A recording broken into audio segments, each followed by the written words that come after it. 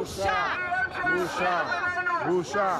שנים הלכתי לטקס, כמו כולם, עמדתי דום, ורק כשהתבגרתי התחלתי להבין שהפוליטיקאים מנצלים את השכול שלנו בשביל עוד כוח פוליטי, והפסקתי ללכת. אני מוחה על זה שהקרובים שלנו שנהרגו האמינו שהם הולכים להגן על מדינה, מדינת מופת, והיום הזכר הזה מתבזה. בעוד חודש בדיוק יחל יום הזיכרון לחללי מערכות ישראל ונפגעי פעולות איבה, מימין ומשמאל, מכל שכבות האוכלוסייה. מדובר ביום שכולם מניחים בצד את המחלוקות ומתאחדים, תחת מטריית השכול.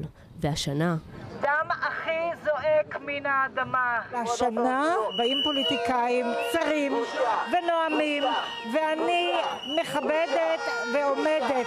הפעם אני לא מוכנה לשמוע בשום פנים ואופן אף שר מהממשלה הזאת שיבוא לבית הקברות כשאני עומדת ליד הקבר של אחי. זאת לא המדינה שלמענה הוא נלחם ועליה הוא הגן.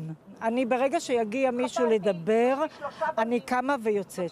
הקולות של ורדה ויובל, אחים וילדים שכולים שמחו אתמול ביום השיתוק הלאומי, מהדהדים היטב בתקופה האחרונה, ומצטרפים לקריאה של המשפחות השכולות לנבחרי הציבור, שלא להגיע לבתי העלמין ולטקסי הזיכרון השנה.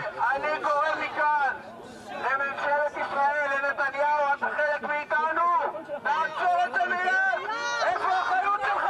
אני הקשבתי למשפחות השכולות, וגם המשפחות השכולות הן מגוונות בעמדות שלהן. אני חושב שהקול החזק של המשפחות השכולות זה לאפשר לפחות ביום הזה של הזיכרון הבנים שלהם, ששילמו את המחיר הכי יקר עבור הארץ הזו, שלא נכניס פוליטיקה לבית העלמין. את השתי דקות של הצפירה, בואו נכבד, נשתוק קצת, יחד עם המשפחות ניתן להם חיבוק, בלי פוליטיקה. בתגובה לכך, חבר הכנסת חילי טרופר החתים 90 חברי כנסת מהמחנה הממלכתי ומהליכוד על עצומה להשארת יום הזיכרון מחוץ למחאה. אני מאוד מקווה שטקס המשואות השנה יהיה נטול פוליטיקה. שנה שעברה אני זכיתי להיות אחראי עליו, ואני חושב שמדינת ישראל ראתה שיש אפשרות כזו, בלי פוליטיקה, רק עם כבוד למדינת ישראל והרבה אהבה.